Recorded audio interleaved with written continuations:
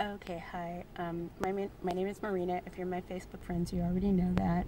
And I think what I'm getting ready to do at this moment is introduce you all to my baby.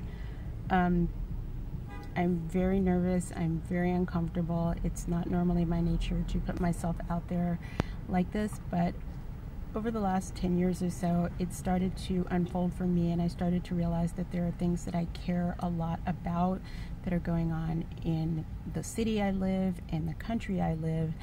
And most of my life, I thought that there were people who were experts and who cared as much or more than I did about those things, and I thought they were being taken care of. I thought the things that were happening that needed to change people's lives and make their lives better, I thought it was happening. And so I felt like it didn't matter how much time or energy I personally spent on it. I felt like my life was going well. The things that I wanted, I was able to pursue them and get them. And so I felt like I would leave those other things that I cared about to the experts. But as time passed, I realized that a lot of the things I thought were being handled, they were not being handled. People were still not happy, they were discontent. And things started happening in my life that sort of caused me to shake loose and wonder whether or not everything that could be being done was being done. And those things that were happening, were they the right things? Were they going to get people what they wanted? Were they going to get people what they needed? And I started to question that. Um, I started to learn things about how the government worked, about how the system worked, about what made us better and what made us not as good, what made us weaker and what made us stronger. And I started to look at what really was being done. And not only were the people who were supposed to benefit from those things not happy, I wasn't terribly happy either.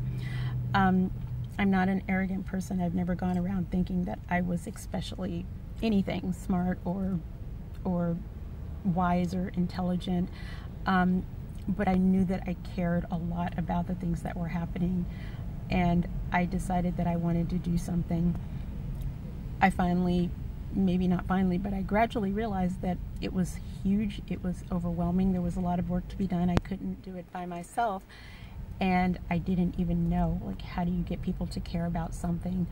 And that's how I realized that I'm introducing people to my baby. Everybody wants someone to care about the things that they care about. And I think my greatest fear is that I will introduce my baby and no one will care about it. Um, I hope I'm wrong about that. I think I can survive that if that's true, but I do think people care about those things, and I think people are ready to hear some new ideas about how to get there. Tomorrow is my birthday. I will be 50 years old, and throughout the course of my posting videos to kind of share my baby with you and maybe even get your help sort of taking care of it, um, I'll share more of my story and how I got here and this is unfiltered, so someone's actually calling me right now. Um, how I got here and how how I came to care about the things that I that I care about, and how I got sort of the boldness and the the courage to put it out there and see what people would say and what they would hear um, or and what they what people would say and how they would respond and react to it. Um, that that's where I am. So the things that I'll be talking about, as uncomfortable as they are, I'll be talking about families, I'll be talking about politics, I'll be talking about race relations, um, my ideas and the things that I say will probably shock and trigger some people, but I hope that it'll be in a way that causes you to engage. If you want to call me names, you can call me names. I'm not sensitive about that. What I want is for anybody who cares as much about the issues that I care about as I do to tell me why or why not try something different. Why is it that the things that I'm suggesting are not going to work? You know, and, and engage me because all I really care about is that these problems get fixed. All I really care about is that people start to feel empowered one way or the other as individuals and as groups to get and do the things that they want to be able to do and to accomplish what they want to be able to accomplish to grow into the people they want to grow into. Um, and so if I'm wrong about how that happens, then let me know. Um, aside from that, um, you'll get to find out why I'm recording this video in my car in a city where I'm not really sure where I am in Southern California. Um, and it, the story kind of all weaves together because the place that I lived was how I came to realize how the system functioned or dysfunctioned to to put people in a situation that they didn't really know what they were in or how they got there, how to get out of it, um, and it very much ties in together. It's almost kind of like a full circle of where I am today, and why I feel like now is the time that I should do this. Now is the time that I should ask for people's help, um, and and see if I can get it.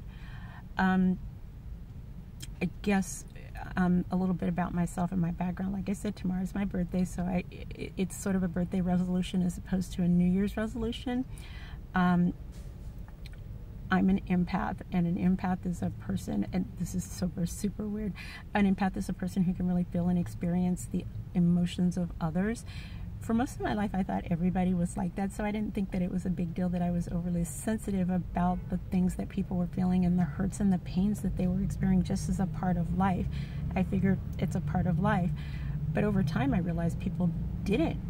Everyone wasn't like that. Everybody didn't feel that. And so all of those special pains that I felt that were part of the pains of the world and the things that people were experiencing, um, they kind of started to burden me. Um, and it wasn't a burden that I think that everybody feels who doesn't have that particular ability, if you want to call it that, or is not just made up that way.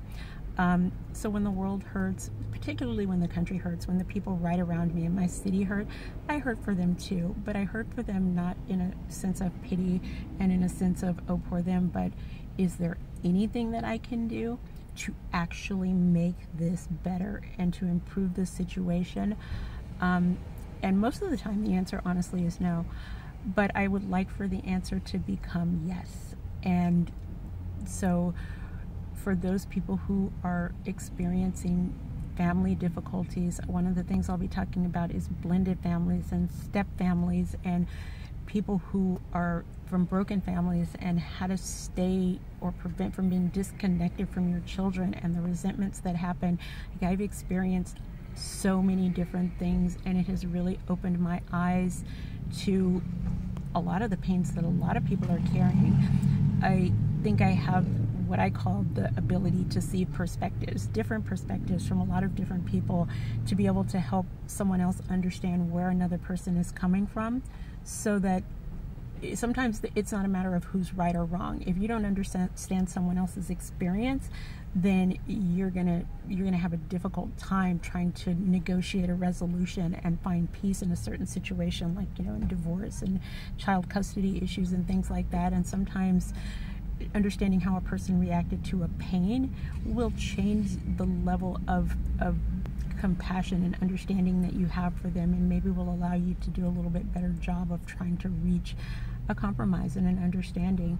Um, it's going to visit upon the way that the court systems work and how it handles children and not everybody handles um, things in the same way not every court handles it in the same way but you know keeping your children out of the hands of a court judge is one of the most special and important things that you can do for your children if they're already suffering from a broken home. So I hope that people will be able to learn new ways how to avoid that hurt for their children. I want to see not just us as a community, meaning the black community, but as a society learn not to pass our pains and our hurts and our wounds on to our children.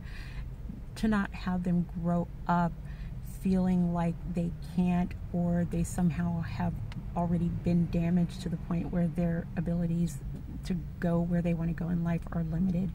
Um, and I want for those people who are creating an, a society and an environment where that's what happens, I want them to become less powerful. I want to make them the quiet, sort of irrelevant people, and I want those people who are making people strong and lifting them up to be the most powerful people in society. Um, I'm not sure what my first video is going to be about tomorrow, but tomorrow I'm actually going to hit a topic. So I'm hoping that everybody will give me a chance to say what I have to say, will hopefully work with me and give me a chance to do some of the things that I'm trying to do. Um, I hope that you will tell me what you think and see whether or not there's really something different that can be done that can make the world better, that can make people hurt less, um, that can make people more successful, that can make them more empowered.